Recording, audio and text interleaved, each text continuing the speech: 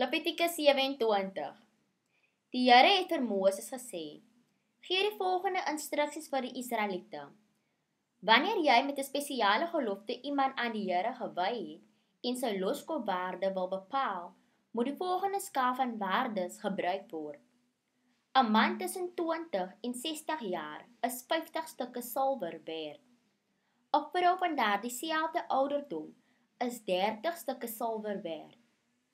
Iemand tussen 5 en 20 jaar oud is 20 stukke silwer werd en 'n dogter van daardie selfde ouderdom is 10 stukke silwer werd. 'n Seun tussen die ouderdom van 1 maand en 5 jaar is 5 stukke silwer werd en 'n dogter van daardie ouderdom is 3 stukke silwer werd. 'n Man ouer as 60 is 15 stukke silwer werd en 'n vrou ouer as 60 is 10 stukke silwer werd. As iemand so 'n gelofte gemaak, maar nie kan bekostig om die afkoopsom te betaal nie, moet hy die persoon saamvat na die priester toe. Hy sal dan die bedrag bepaal. Hy sal dan die bedrag wat die priester bepaal het, betaal.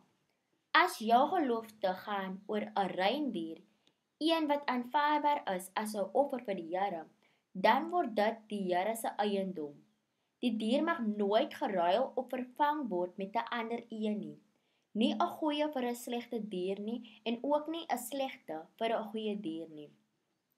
As so 'n ruil wel gemaak word, word beide die oorspronklike en die dier wat geruil is, albei die Here se eiendom. As jou gelofte gaan oor 'n onrein dier, een wat nie aanvaarbaar is as 'n offer vir die Here nie, moet jy die dier na die priester toe bring. Hy sal die waarde van die dier bepaal en sy beslissing is finaal. As jy die dier wil loskoop, moet jy sy waarde, soos deur die priester bepaal, plus 20% betaal. As jy 'n huis aan die Here wil wy, moet die priester kom om die waarde van die huis te bepaal. Die priester se beslissing sal finaal wees. As jy die huis wil loskoop, moet jy die waarde, soos bepaal deur die priester, betaal plus 20%. Dan sal die huis weer aan jou behoort.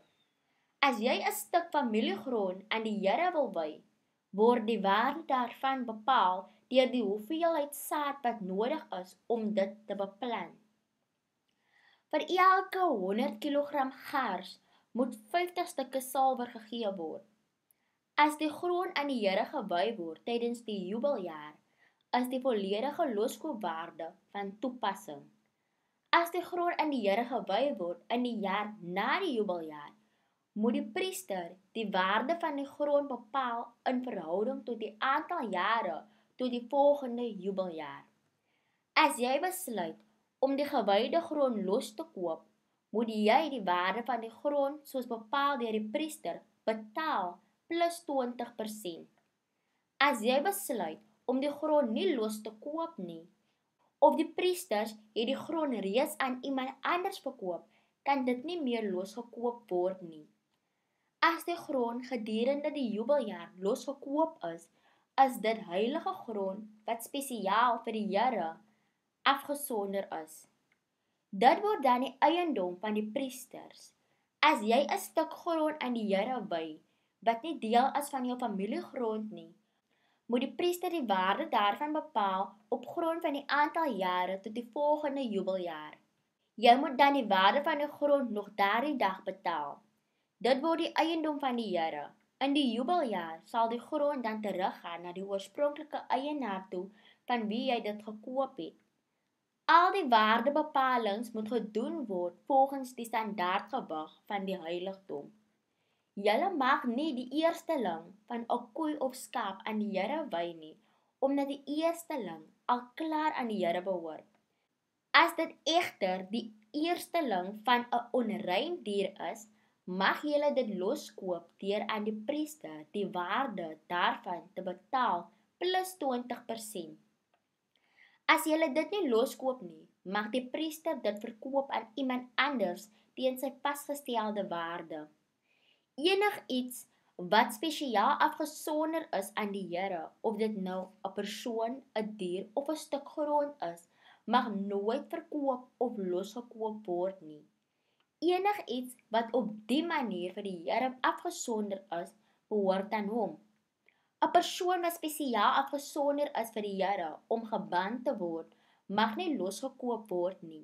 So 'n persoon moet doodgemaak word. 'n Tiende van die opbrengs van die land, of dit graan of vrugte is, behoort aan die Here en moet vir hom as heilig afgesonder word. As jy die Here se tiende van die graan of vrugte wil loskoop, moet jy die waarde daarvan betaal plus 20%. Elke tiende dier van jou beeste en skape behoort aan die Here. Daar mag nie vir die tiende dier onderskeid gemaak word tussen goeie of slegte diere nie. Hulle mag ook nie uitgeruil word nie. As hulle wel omgeruil word, sal albei diere as die Here se eiendom beskou word en kan hulle nie losgekoop word nie. Dit is die bevele wat die Here vir Moses op die Sinaïberg vir die Israeliete gegee het.